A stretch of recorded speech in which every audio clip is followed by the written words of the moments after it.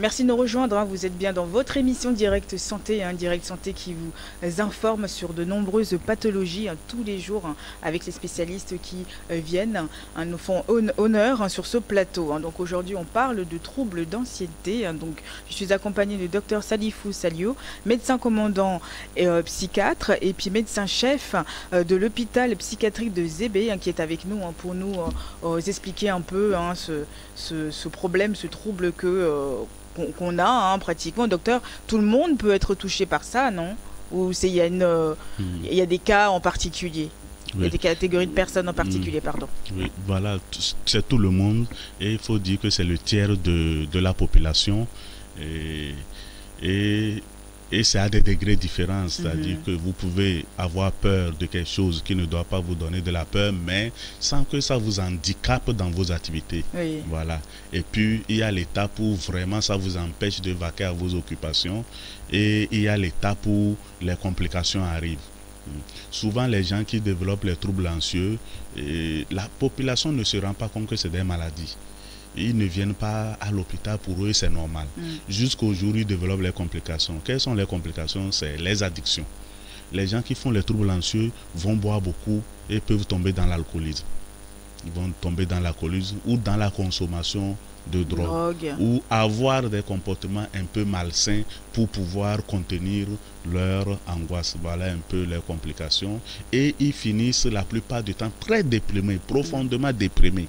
Donc quand ils vont venir à l'hôpital, on, voit que la dépression, c'est après avoir géré la dépression qu'on se rend compte que l'origine de la dépression, c'est un trouble anxieux.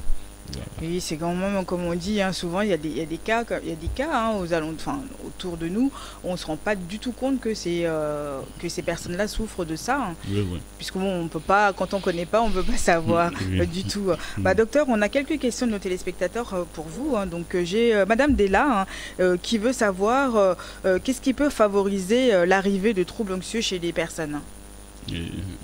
Qu'est-ce qui peut favoriser l'arrivée des troubles anxieux chez les personnes En gros, c'est l'environnement dans lequel nous vivons. Si l'environnement n'est pas sain, c'est-à-dire que vous êtes dans une famille où c'est conflicté tout le temps, on, va on peut développer les troubles anxieux. Mm. Si vous êtes dans une famille où quelqu'un dans son éducation, avait déjà développé ce trouble et vient fonder une famille avec vous. Et tout le temps, cette personne développe l'anxiété, l'angoisse, la peur des choses incertaines et les enfants ou bien les autres membres de, de, la famille mm. peuvent progressivement apprendre, copier cette, cette anxiété chez la personne. et puis il y a aussi ce qu'on dit aux enfants. Hein, quand vous dites Bibi, Bibi, l'enfant grandit en se disant que Bibi est dangereux, mais il ne sait pas l'indexer, il ne sait pas c'est quoi. Et si vous lui dites le serpent est, dangereux, il, peut comprendre, il peut identifier. En dehors du serpent, il n'aura pas peur. Mais quand vous dites, vous dites Bibi et il ne sait pas de quoi il s'agit, c'est vague, à un moment donné, il peut développer une anxiété. C'est pour ça que euh, c'est important de dire aux parents, hmm. il faut avoir un langage clair. Si un enfant a un comportement qui ne vous sied pas, dites-lui ça, ce n'est pas bon au lieu de lui dire si tu fais ça, Bibi va t'attraper.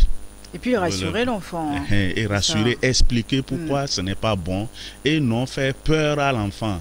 Voilà. Et j'ai Monsieur Kofa hein, qui veut savoir est-ce que euh, les troubles anxieux est héréditaires hein, Justement, on vient d'en parler. Et comment, euh, comment peut-on euh, prévenir? Hmm les troubles anxieux, oui, bon, l'hérédité est très très infime, mais quand même, il y a des études qui ont montré, par exemple, chez les jumeaux, que mhm. quand un est atteint, l'autre est aussi souvent atteint. Voilà. Et que si les parents sont atteints de troubles anxieux, les enfants vont le développer. Mais est-ce que c'est vraiment l'hérédité? Est-ce que ce n'est pas plutôt l'environnement dans lequel les personnes vivent et l'apprentissage qu'ils en ont fait chez ces personnes qui souffrent? Donc c'est un peu difficile d'affirmer à 100% l'hérédité. Bah, écoutez, merci beaucoup d'avoir répondu à ces questions. Hein. Vous êtes nombreux à nous envoyer vos questions euh, sur notre numéro WhatsApp, le plus 228 79 84 27 52. Et puis, n'hésitez pas, hein. allez-y, nous sommes là pour vous. Et puis, nos pages réseaux sociaux également sont à votre disposition. Et vous pouvez retrouver l'intégralité de nos émissions sur notre compte YouTube, Direct Santé sur New World TV. Merci, docteur. J'ai encore, une encore deux petites questions. Donc, quelle est la différence entre troubles obsessionnels compulsives qu'on appelle TOC, c'est ça, hein, et troubles anxieux Ce n'est pas une différence. Là. les TOC font partie des troubles anxieux. Ok. Hmm, les TOC, c'est un chapitre des troubles anxieux où je dirais c'est une maladie qui fait partie des troubles anxieux. Voilà. La liste est longue. La liste est longue, on ne peut pas tout aborder si la liste est vraiment longue. Mais ces personnes-là peuvent garder ça à vie, du coup ou ça, peut, ça part à un moment donné, avec ces traitements, avec les, bah, les rendez-vous Quand on est déjà dans les troubles anxieux, si on n'est pas pris en charge, c'est à vie, vous allez le porter. Il faut ah. forcément...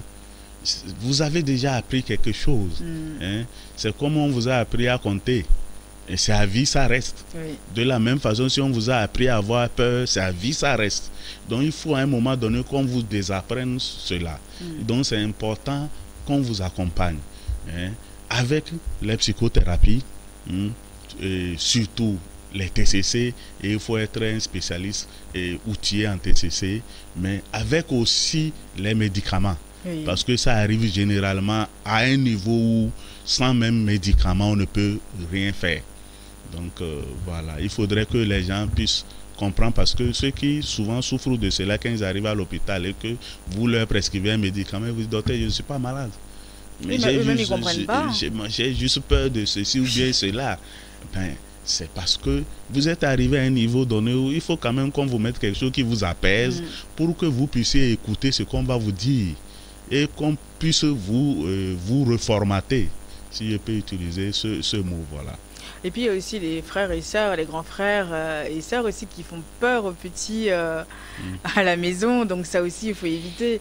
parce que souvent, bon, c'est pas forcément les parents, mais les grands frères ou les, ou les grandes sœurs, les aînés, font souvent peur, quoi il faut éviter le harcèlement.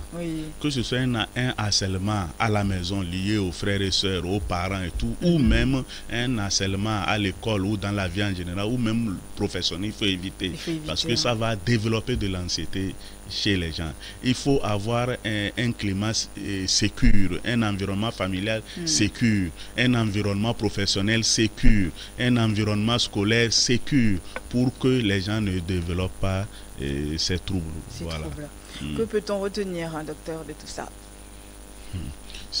Ce qu'il faut retenir, c'est que l'anxiété euh, peut être normale, mais elle devient euh, une maladie quand elle nous empêche de vivre notre hmm.